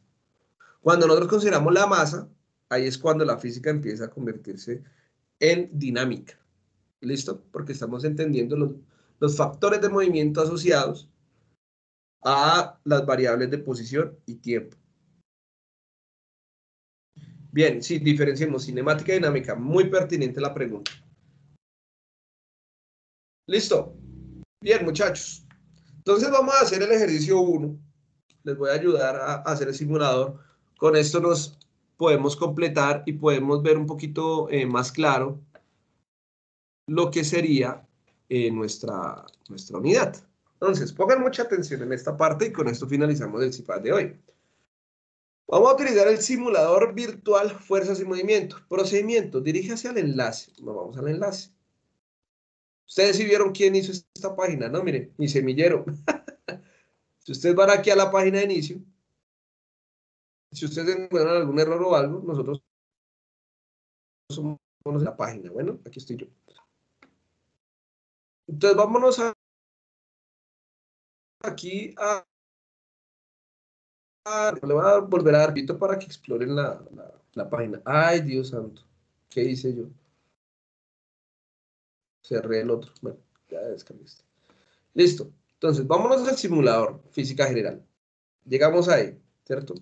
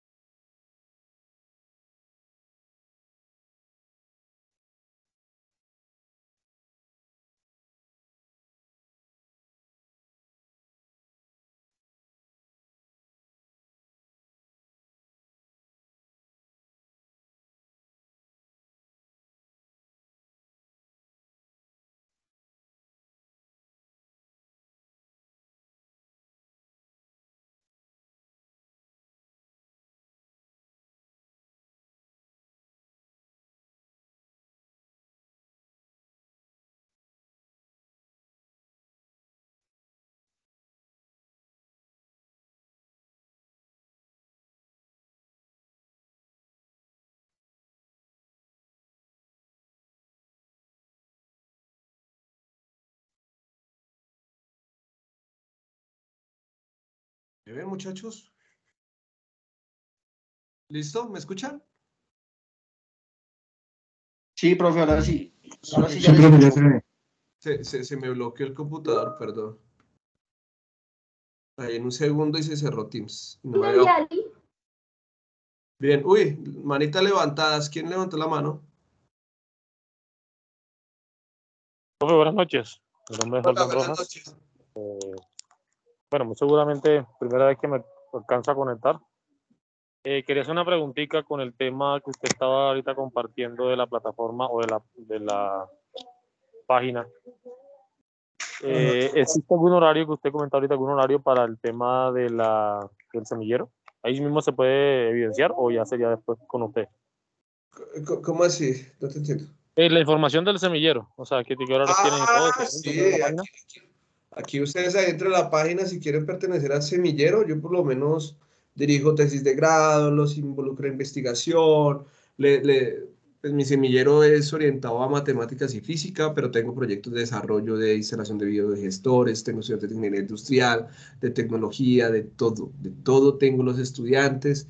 Eh, sí, aquí en la, en la página ustedes pueden encontrar lo que hacemos, ¿sí? También pertenezco a una red que se llama la, el REX, el Science Dissemination Center, ¿sí? De, en, en experimentación remota, que es el centro de diseminación. Ustedes, por ejemplo, un ejemplo del, del centro de diseminación y lo que hacemos es en la práctica de estos software al godo, de cómo diseñar esos ambientes de aprendizaje. Mi, mi, mi semillero, todo eso trabajamos y son desarrollos que han hecho estudiantes como ustedes, que tienen sus publicaciones, sus artículos científicos definidos, empiezan a crear su hoja de vida investigativa. No solo nos quedamos con la parte teórica porque a veces no es suficiente. Entonces, sí, claro. Ustedes me pueden escribir a mi correo electrónico, freddy.torres.co, me pueden eh, escribir a mi Skype, me pueden, bueno, antes daba mi celular, pero pues ya por motivos personales no, porque bueno, se satura mucho, pero bueno, tengo Telegram, también me pueden escribir a cualquier red social y si están interesados, yo les, yo les digo. Bueno. Eh, Ok, señor. Listo, por acá Saúl Arevalo me dice, yo, profe, yo estuve en toda la clase y cuando estaba en la segunda ley de Newton, cuando esta terminó lo del carro, se fue la energía y quedé desconectado. Explicó la tercera, sí, sí, expliqué la ley de acción-reacción.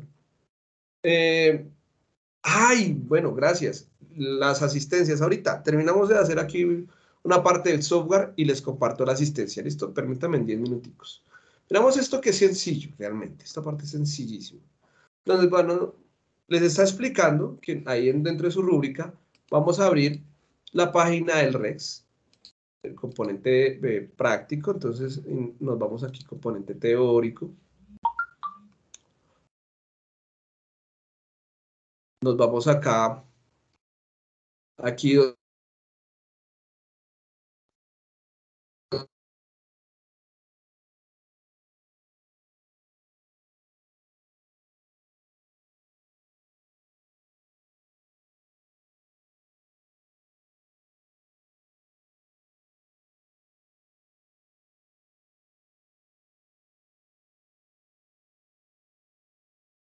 donde dice sin movimiento. Aló, aló, aló. Se.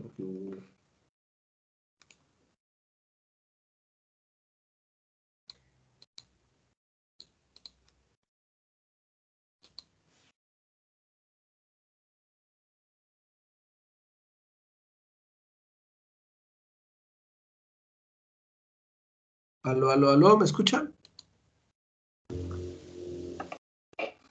Sí, listo, por ahí escuché un micrófono. Díganme que sí. Sí, profe, yo lo estoy viendo y lo estoy escuchando. Ah, listo, vale. Entonces voy a desactivar la cámara, de pronto eso es lo que me Sí, sí, tiene- se escucha. Bueno, ahora no puedo ni desactivar la cámara. Vamos.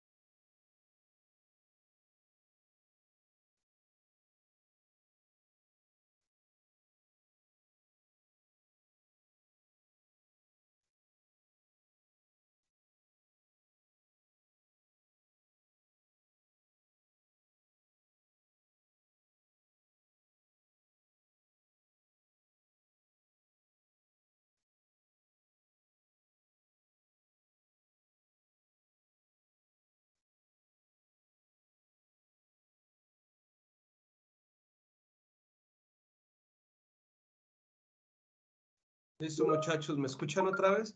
Perdónenme, es que tengo ahorita saturado el, el, buffer, el, toda la memoria del computador porque estoy corriendo unas simulaciones. Y entonces, claro, cuando iba a abrir el software del PET, se, se bloquea y, y, no me he dado cuenta y tenía la cámara activada. Bien, entonces, ¿me escuchan ahora sí? ¿Me confirman? ¿Sí? No. Voy a hacerte caso, ¿verdad? Sí, señor. Listo, vale. La vieja y confiable. Listo. Entonces, bien. Entonces estábamos desarrollando el componente teórico, ¿no? Entonces, nos dirigimos a la página del Rex. Yo le doy aquí clic para que me la abra bien o se le ponen aquí tres botoncitos y maximizar. Voy a dejarlo aquí en este momento desde, la página oficial de PET Colorado, que me abra la simulación. Nos dice el componente teórico. Em, vamos a elegir la primera opción de fuerza neta. Entonces vamos a darle acá. Ah, yo puse adición de vectores.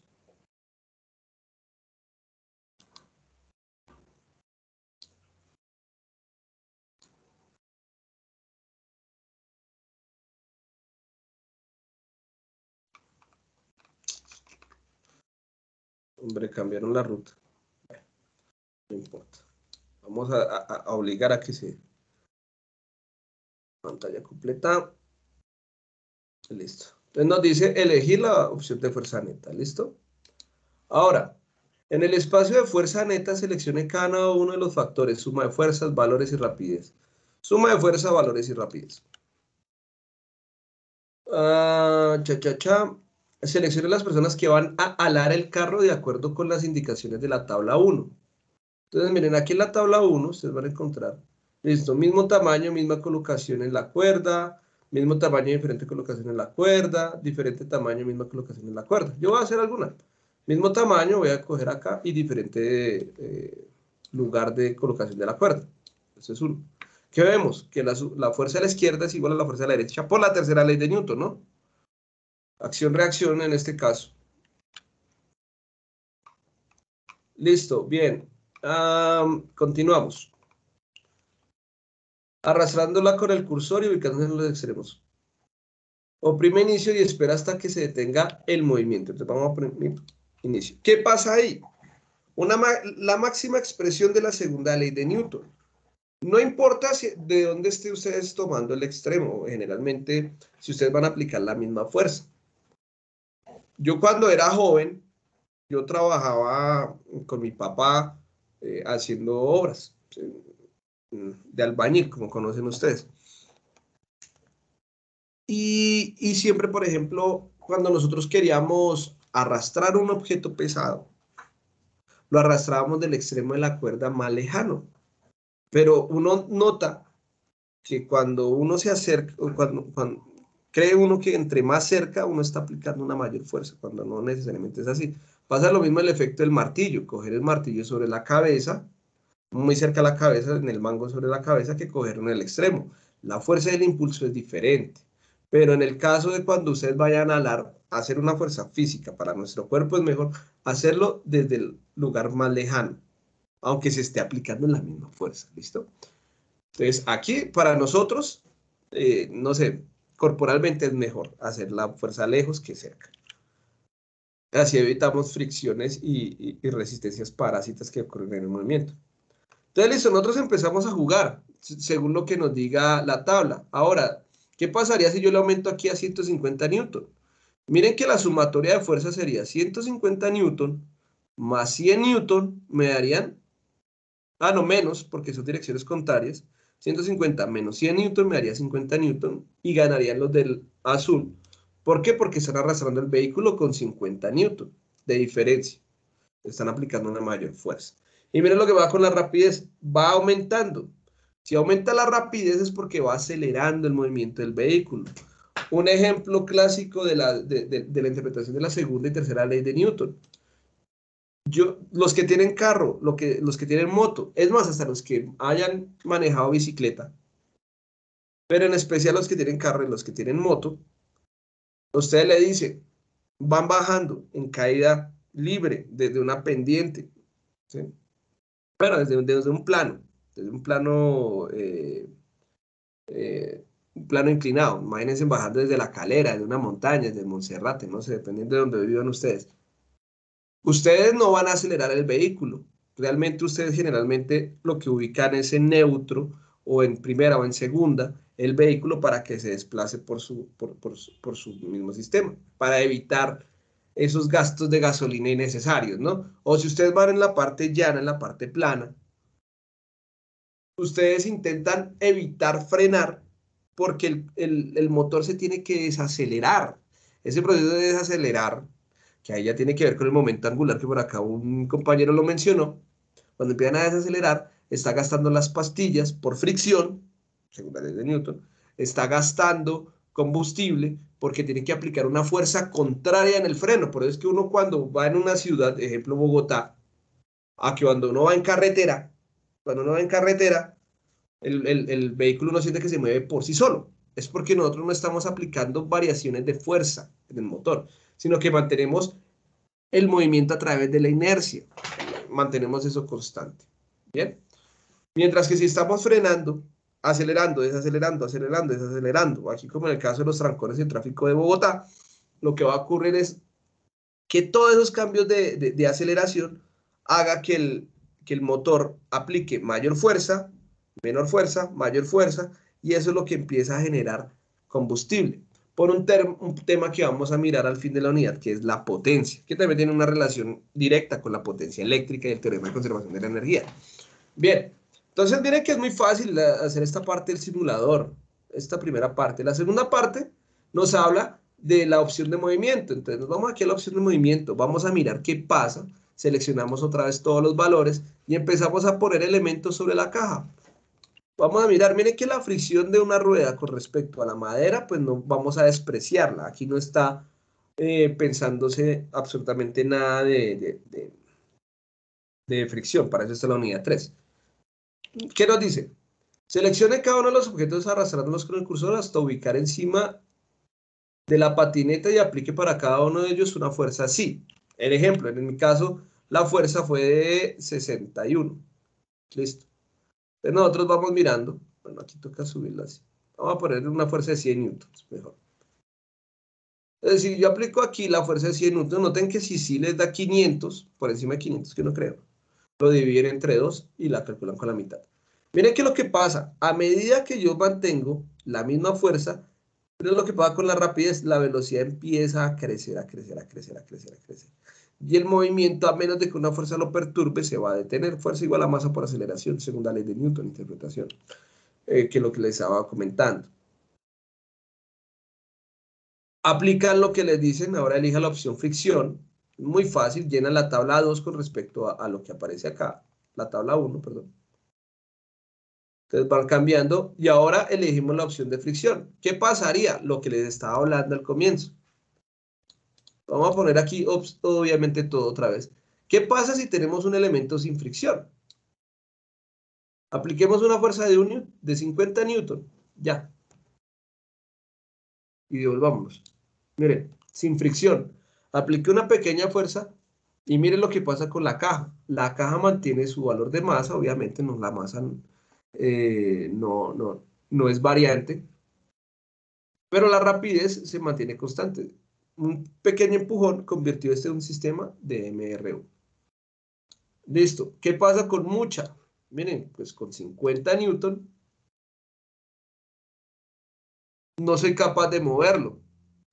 Con 100 newton no soy capaz de mover una masa de 50 kilogramos. Es más, podemos poner lo más interesante. Si supongamos que este muñeco tiene la misma masa de este señor adulto, 80 kilogramos. Puede que tenga una masa de 80 kilogramos, pero si está aplicando una fuerza, sabiendo que la fuerza contraria es de 100 newton, la de fricción, y la fuerza aplicada es de 100 newton, pues difícilmente va a poder moverlo. 150, 200, 250, 300. Necesitaría con mucha, mucha, mucha fuerza, pero la suma de fuerzas en este caso son 112 newton, pueden mover esta caja. Entonces, a mayor fricción, ¿qué pueden concluir?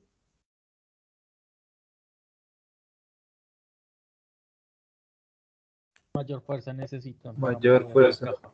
Correcto, muchachos. Mayor fuerza necesito para mover ese objeto. Y ahora le dimos la opción de aceleración. En este espacio seleccione cada uno de los vectores, seleccione cada uno de los objetos que se muestran en la tabla 1 y aplique para cada uno de ellos una fuerza de 2C newtons. Observe el valor de la aceleración y anote su valor. Entonces, lo que tienen que hacer acá, en el punto F, en el punto F es eh, vamos a poner aquí aceleración, vamos a aplicarle 50 newton, 100 newton, 150 newton, listo, 200. Vamos, notamos todos los valores, masa, rapidez y aceleración. Si aplicamos una fuerza de 200 newton, tenemos una aceleración de 2.12. Si ponemos ahora aquí en el ejemplo a este tipo, miren que las, ya el objeto me está desacelerando, está en movimiento y la, la rapidez empieza a disminuir. Pero bueno, eso no les pide el ejercicio, vamos a ponerlo acá.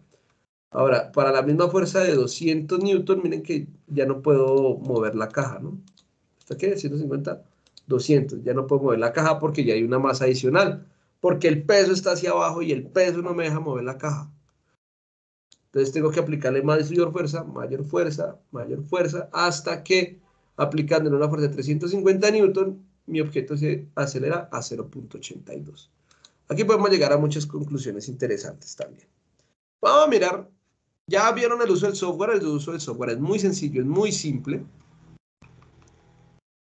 Entonces, ustedes simplemente van a llenar su tablita. Tienen que ubicar a las personas como se les indica. Ustedes hablan sobre la predicción del movimiento, eh, qué movimiento hizo, si se quedó quieto, si fue hacia la izquierda o hacia la derecha la suma de fuerzas 0, x izquierda, x derecha. Se las anota, que son los vectorcitos que salen aquí en la parte de arriba, ¿no? Entonces, eso es lo que dice el movimiento real. Suma de fuerzas, por ejemplo, en el primer caso, en este caso, son esos vectores. Entonces, fuerza izquierda 150, fuerza derecha 100 y suma de fuerzas 50. Entonces, ustedes llegan esa tablita así, muy fácil. La predicción del movimiento lo que ocurre en el movimiento. Por ejemplo, yo pude haber predicho que si yo, si una persona tiene misma fuerza y alamos de los dos extremos de la cuerda, pues el objeto no se va a desplazar porque estamos aplicando la misma fuerza. Si estamos acá mismo tamaño, de diferente colocación en la cuerda, y pues debemos hacer la experiencia porque eso interpretarlo al comienzo no es, no es relevante. Eh, señor, alguien levanta la mano, creo que es el ver, si no estoy mal. Sí, profe, yo fue el que levanté la mano. Es no es para hacer una pregunta, sino para hacer una observación. Lo que sucede es que en, el lado de aceleración hay diferentes objetos, ¿verdad? Entre ellos hay una caneca de basura. Lo que sucede es que en el simulador, pues no, en, la, en el apartado de aceleración, pues no existe tal caneca de basura. La caneca de basura. Ah, aquí. Pero no, no, no, no. En el apartado de aceleración, profe. ¿Y dónde dice caneca basura? En el, en el formato, profe, en el formato en aceleración. O sea, en el formato que nosotros debemos llenar, eh, en aceleración hay una caneca de basura, pero esa caneca de basura, si vamos al simulador que tiene que, que tiene relación con la aceleración, no hay caneca de basura. En esta tabla, ¿cierto? Sí, si su, si su merced mira el, el simulador de aceleración, pues no hay caneca. Ay, chango. Bueno. Ah, bueno, es que, ¿sabes qué? Yo creo que cambiaron la caneca. Al menos la caneca que utilizan el balde. Ah, listo, profe. Ay, que es la caneca. Bueno, buena apreciación. Entonces, gracias, Elber. Entonces, lo que, lo que les estaba comentando, muchachos, eh, pues es simple llenar esta primera parte. La segunda parte me dicen predicción del movimiento.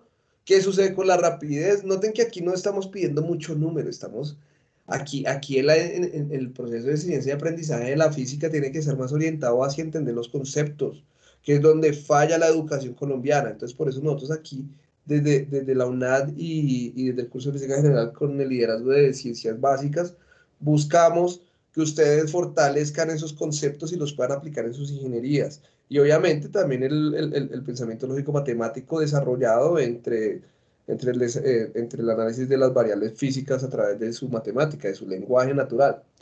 Entonces, bueno, miremos aquí la parte de, la, de, la, de las fuerzas, que, qué sucede con la rapidez, aumenta, disminuye, dependiendo de lo que sea. Eh, recuerden que la fuerza es constante, por ejemplo, si yo aplico una fuerza de 150 newton, si la masa esta es más pequeña, esta es más grande y esta es mucho más grande, ustedes van a ver y van a obtener resultados de qué valor le va a dar de la rapidez. De pronto una es mayor, otra es menor. Y pues ustedes, dependiendo de su predicción, responden, se cumplió la predicción. Miren que este, este aprendizaje es bonito, esto es como un laboratorio.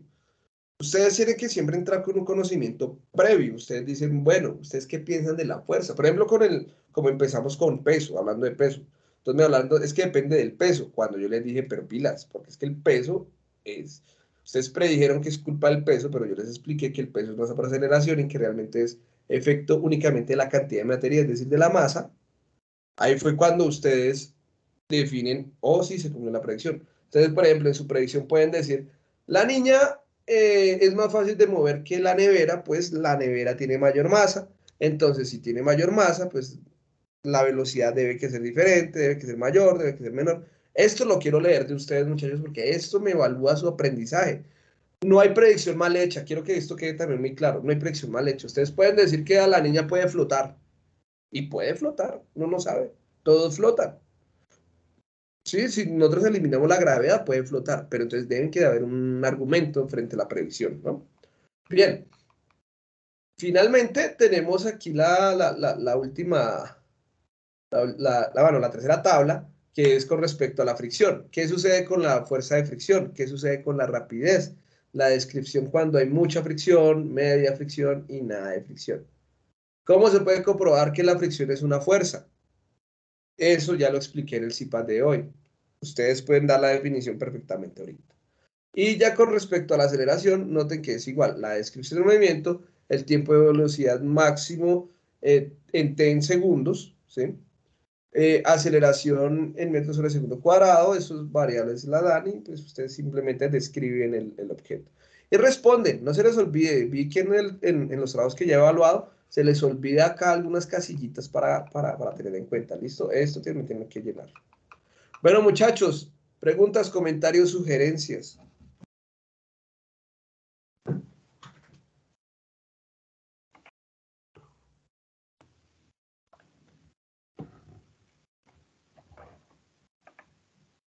¿Listo? ¿Ninguna? Bueno, muchachos, pues, entonces... Ahí también hay que hacer videos, ¿cierto, profe? Sí, señor. Importantísimo, importantísimo los videos. Recuerden, miren, hay muchachos que me entregaron el primer punto, pero no tiene video. Este da 25 puntos. Sin video yo les pongo 5. Y si está bien. Porque realmente cuando no hay video yo soy un poquito más rajón. Cuando hay video realmente soy más suavecito. Profe, una consulta. Cuéntamelo. Con Javier, Javier Arevalo. Javier, cuéntame, Javier. Profe, yo tengo una consulta. Lo que pasa es que yo el día sábado tengo lo que es el laboratorio, pero por temas laborales yo no puedo pues asistir al laboratorio. Yo hablé con la profesora y ella muy amablemente me colaboró para el día miércoles. ¿Qué sucede? Que a mí me extendieron. ¿Perdón? ¿Qué profesora? Perdóname. María. María, no me, es que el apellido es todo raro, no me acuerdo muy bien. Entonces ella me dijo, bueno, sí, entonces dejémoslo para el día miércoles, me programó, pero eh, me extendieron el viaje. Entonces mi pregunta es, profe, ¿usted me puede colaborar de alguna manera? Eh, no sé si dejarlo para después del primero que ya estoy regresando a Bogotá para ese laboratorio o tengo que de alguna u otra manera, no sé, hacer algo, porque no, pues me preocupa no poder asistir, ¿cierto? Y pues eh, el tema es de los puntos, que es importante. La profesora es María Raica, la que ella me ayudó, Marta, perdón, Raica, Raica, Marta, Marta Raica, algo así. Entonces yo le escribí un correo a ella y el último correo que yo se lo escribí, pues no me ha contestado y pues la verdad no sé qué debo hacer. Entonces ya que estamos aquí en la, en la web, que en esta, en esta web, pues entonces quisiera saber ¿Qué debo hacer o qué me aconseja el profe? Defíneme si es Ripka o si es Marta Campos. Son dos. eh, Ripka creo que no es. Ripka Sorisipa. Es rica. Ripka, listo. Mándale un correo a Ripka con copia mía. ¿Listo? Y, y, y, ¿y cuándo es que es la fecha que te dejó Bueno, este sábado?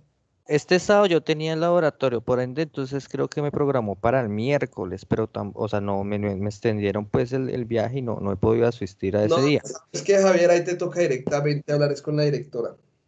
¿Por qué? Porque ya la profesora te dio una oportunidad para presentarle en otra fecha. Y, y pues ya la- es que los profesores tienen asignados, se les asignaron unos espacios de laboratorio para que fueran algunos días en específico. Y ellos no, no pueden ir otro día adicional, pues por cuestiones de que hay más laboratorios, hay más estudiantes. Entonces yo sí te recomiendo, escríbele directamente a la, a la, a la directora Diana. ¿A la directora Diana? Sí, Diana Tique. Y explícale el caso y dile, porque la profe Ripka te hizo el favor de decir, bueno, asiste el miércoles, pero tú mándale la, la situación, de pronto te asignan otro profesor para que haga la, la práctica. Bueno, Y otra preguntita con respecto al, al trabajo que estamos viendo, pues en la primera actividad eh, que es de, de, de- como de la primera, la de la guía ahorita, a mí me muestra el que la, la velocidad, no, perdón, la, espérame, cinco.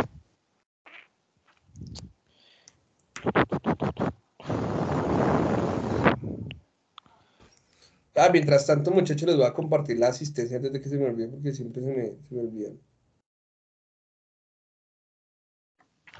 que es la fuerza neta. Entonces la fuerza neta me está mostrando que eh, lo que es la, eh, la suma de fuerza, ¿cierto?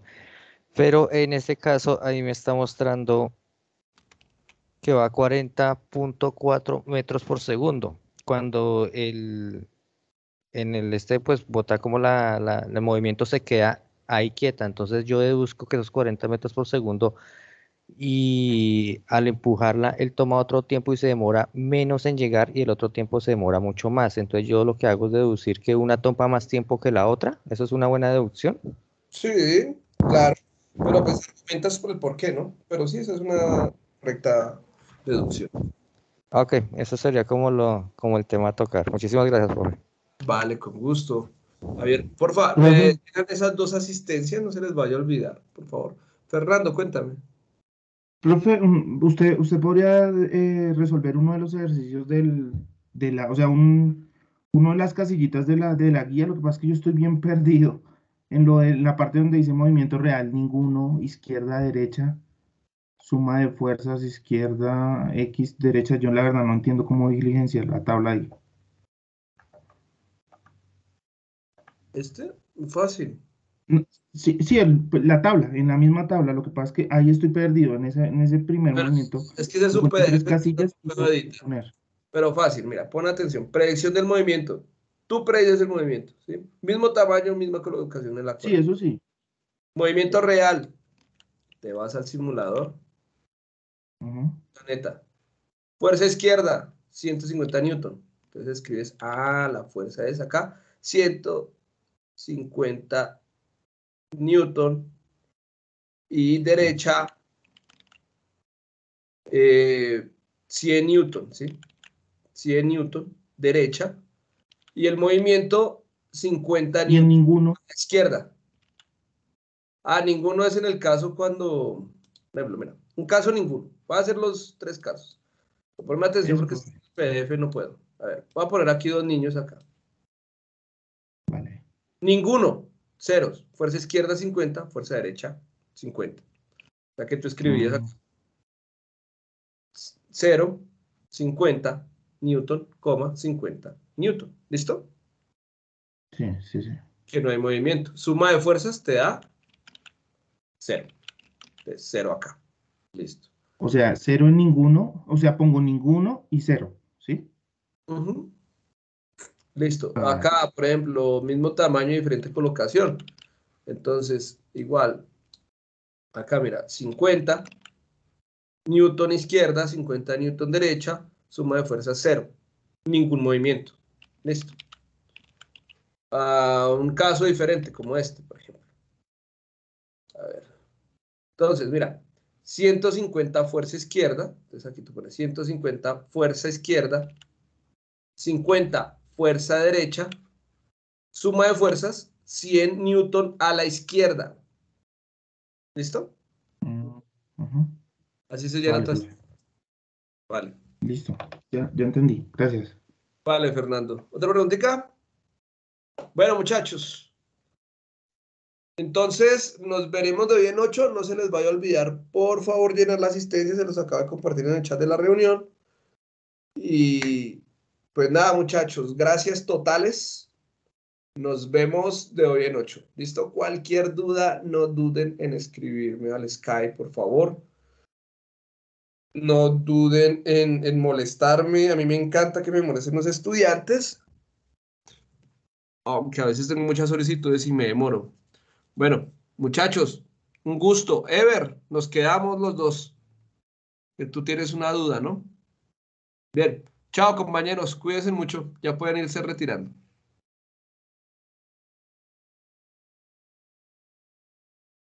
Listo, profe, yo me quedo.